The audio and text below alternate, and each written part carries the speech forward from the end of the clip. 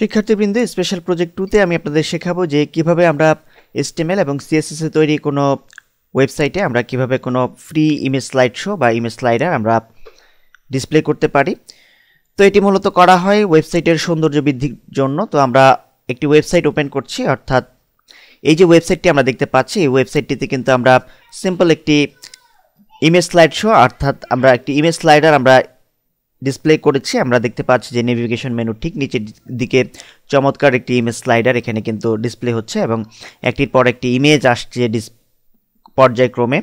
আমরা দেখতে পাচ্ছি যে স্লাইড শো আকারে একটির পর একটি ইমেজ কিন্তু বিভিন্ন স্টাইলে কিন্তু এখানে ডিসপ্লে হচ্ছে। তো এই কাজটি মূলত আমরা করব আমাদের এই যে স্পেশাল প্রজেক্ট ওয়ানে আমরা যে প্রজেক্টটি করেছি, যে ওয়েবসাইটটি করেছি, সেই ওয়েবসাইটে নেভিগেশন মেনুর নিচে আমরা একটি ইমেজ দিয়েছিলাম। তো সেই ইমেজটির পরিবর্তে আমরা এই জায়গাটিতে অর্থাৎ এই যে ইমেজ আছে, এই জায়গাটিতে আমরা একটি স্লাইড শো অ্যাড করব। আমাদের এই যে প্রজেক্টটি আমরা আপনাদের দেখাচ্ছি স্লাইড শো রিলেটেড প্রজেক্ট তো সেখানে আপনারা দেখতে পাচ্ছেন যে নেভিগেশন মেনু ঠিক নিচের দিকে চমৎকার একটি স্লাইড শো কিন্তু আমরা দেখতে পাচ্ছি। তো এই স্লাইড শোটি মূলত আমরা আমাদের এই স্পেশাল প্রজেক্ট ওয়ানের যে ওয়েবসাইটটি আছে, সেখানে কিন্তু আমরা জাস্ট অ্যাড করে দেব।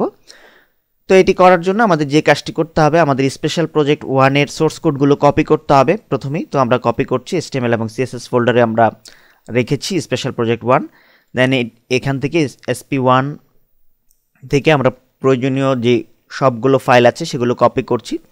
কপি করে আমরা একটি নতুন ফোল্ডার ক্রিয়েট করব, সেটির আমরা নাম দিচ্ছি এসপি টু এসপি টু অর্থাৎ এটি হচ্ছে স্পেশাল প্রজেক্ট টু তো এখানে এসে আমরা জাস্ট সবগুলোকে পেস্ট করে দিলাম, সবগুলো ফাইলগুলোকে তো সকল ফাইল এবং যে ইমেজ আছে, সেগুলোকে আমরা এখানে পেস্ট করলাম। দেন এখন এখান থেকে আমাদের কিছু ফাইলকে আমাদের এডিট করতে হবে। অর্থাৎ এখানে কিছু কোডিং আমাদের ইনক্লুডেড করতে হবে। আর এক্সট্রা কিছু ফাইল আছে থার্ড পার্টি সেগুলোকে আমাদের এখানে জাস্ট ইউজ করতে হবে। তো এটি করার জন্য আমরা যে কাজটি করব, আমরা প্রথমে ক্লোজ করে নেব আমাদের নোটপ্যাডের যাবতীয় সকল ফাইলগুলোকে দেন এখন এখান থেকে আমরা জাস্ট ওপেন করছি। আমাদের এসপি টু নামক ফোল্ডারে রেখেছি, এখান থেকে ইন্ডেক্স ডট এসটিএমএল ফাইলটি ওপেন করছি। দেন আরেকটি ফাইল আমাদের ওপেন করা লাগবে, সেটি হচ্ছে স্টাইল ডট সিএসএস ফাইল তো এই দুটি ফাইল আমরা মূলত ওপেন করে রাখলাম। এই দুটি ফাইলে আমাদের কিছু কোডিং করা লাগতে পারে এই কারণে এই দুটি ফাইল আমি ওপেন করে রাখলাম। মূলত আমাদের ইন্ডেক্স ডট এসটিএমএল ফাইলে কোডিং করলে হবে।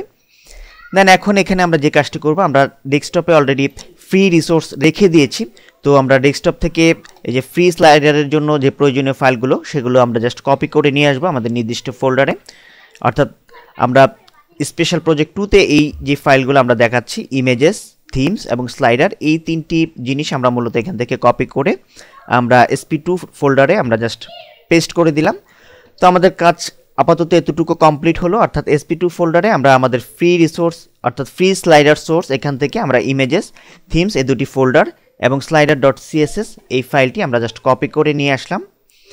দেন এখন এখানে আমাদের ইনস্ট্রাকশন দেওয়া আছে add to head that means এই যে কোডিংটুকু আছে, এই কোডিংটুকু আমাদের হেডের মধ্যে আমাদের জাস্ট পেস্ট করতে হবে। তো আমরা সোর্স কোড এখান থেকে জাস্ট কপি করছি। কপি করে আমরা জাস্ট এই সোর্স কোডটুকু আমাদের হেডে আমাদের পেস্ট করতে হবে। তো আমরা হেড দেখতে পাচ্ছি এখানে রয়েছে আমাদের হেড এই যে হেড হেডের শুরু হেডের শেষ। দেন এখানে আমরা জাস্ট একটি স্পেস দিয়ে এই সোর্স কোডটুকু আমরা জাস্ট এখানে পেস্ট করে দিলাম, আর কিছুই আমাদের করা লাগবে না।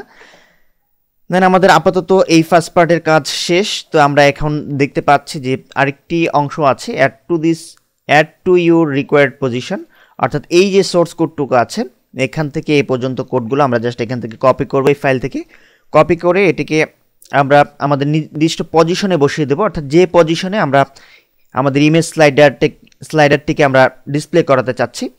আর যেহেতু আমরা চাচ্ছি আমাদের এই ওয়েবসাইটে এই ইমেজের পরিবর্তে এখানে রিপ্লেস হবে একটি স্লাইডার তো সেই কারণে আমরা ইমেজটিকে প্রথমে বাদ দিয়ে দেবো এখান থেকে।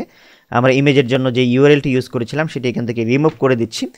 দেন ঠিক এই জায়গাটিতে আমরা কোডটুকু পেস্ট করে দেব, যেটি আমরা এখান থেকে এই যে নোটপ্যাডে যে ফাইলটি আছে, অর্থাৎ টিএক্সটি ফরম্যাটে যে ফাইলের মধ্যে যে সোর্স কোডগুলো আছে, এখান থেকে কপি করে আমরা জাস্ট এই জায়গাটিতে এসে, অর্থাৎ ইমেজ নামক যে ডিপটি আছে, সেই ডিপের মাঝখানে আমরা জাস্ট এটিকে পেস্ট করে দিলাম, আর কিছুই করা লাগবে না।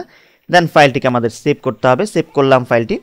তো এ ধরনের ফ্রি রিসোর্স কিন্তু আপনি গুগলে সার্চ দিয়ে অনেক ফ্রি ইমেজ স্লাইডার আপনারা পেয়ে যাবেন। তো এক এক ধরনের স্লাইডারের এক এক ধরনের কোডিং রয়েছে। তো সেই, যে ওয়েবসাইট থেকে আপনি ডাউনলোড করবেন, সেই ওয়েবসাইটে মূলত ইনস্ট্রাকশনগুলো চমৎকারভাবে দেওয়াই থাকে।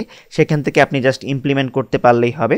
তো আমি এটি একটি ওয়েবসাইট থেকে ডাউনলোড করে রেখেছিলাম পূর্বেই। তো এখন সেই ওয়েবসাইটের অ্যাড্রেসটি আমার একজ্যাক্ট খেয়াল আসছে না।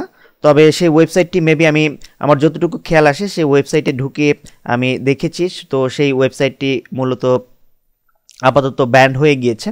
অর্থাৎ সেটি এখনও অ্যাক্টিভ নেই সেই ওয়েবসাইটটি যদি সেই ওয়েবসাইটটি অ্যাক্টিভ থাকতো, তাহলে আমি সেই ওয়েবসাইটের ইউএলটি আপনাদের দিয়ে দিতে পারতাম। তো আমার কাছে রিসোর্সগুলো ছিল এবং ইমপ্লিমেন্টেশনের জন্য প্রয়োজনীয় ইনস্ট্রাকশন ছিল। তো সেই রিসোর্সগুলো থেকে আমি জাস্ট কোডগুলো আমরা আপনাদের ইউজ কীভাবে করতে হবে সেগুলো দেখাচ্ছি। তো এই যেই সোর্স কোডগুলো আমি ইউজ করছি, আমি এই ফ্রি স্লাইডার সোর্স নামক ফোল্ডার থেকে এই সমস্ত সোর্স কোডগুলো আমি আপনাদের কাজের সুবিধার জন্য আপনাদের সিরিজ সোর্স ফোল্ডারে দিয়ে দেবো যাতে আপনাদের কাজ করতে কোনো প্রবলেম না হয়। তাছাড়া আপনারা নেট থেকে এ ধরনের সোর্স কোড যদি পান, তাহলে সেটিও আপনারা ইচ্ছা করলে আপনাদের পছন্দ মতো জায়গায় আপনারা কিন্তু জাস্ট রিপ্লেস করে আপনারা কিন্তু চমৎকার স্লাইডার আপনাদের ওয়েবসাইটে আপনারা নিজেরাও অ্যাড করে নিতে পারবেন। আমি জাস্ট আপনাদের ওয়েগুলো দেখাচ্ছি। তো এই যে ফ্রি স্লাইডার সোর্স থেকে আমি প্রয়োজনীয় জিনিসগুলো নিলাম। সেগুলো কীভাবে ইমপ্লিমেন্ট করতে হবে সেগুলো জাস্ট ওয়েগুলো আমি আপনাদের দেখিয়ে দিলাম। তো এখন এই অবস্থায় ফাইলটিকে জাস্ট সেভ করছি। তো এখন আমরা জাস্ট ফাইলটিকে যদি এক্সিকিউট করি, তো আমরা কিন্তু দেখতে পাচ্ছি আমাদের ফাইলটি কিন্তু সাকসেসফুলভাবে এক্সিকিউট হয়েছে। এবং আমরা একটু যদি ওয়েট করি, তাহলে কিন্তু আমরা দেখতে পাবো যে আমাদের এই যে ইমেজটি আছে, সেই ইমেজটি কিন্তু স্লাইডিং হয়ে খুব চমৎকারভাবে আরেকটি ইমেজে আমাদের সে রেজাল্ট দেখাচ্ছে, অর্থাৎ একটি ইমেজ থেকে একটি স্লাইড শো হয়ে সে আরেকটি ইমেজে কিন্তু মুভ করছে।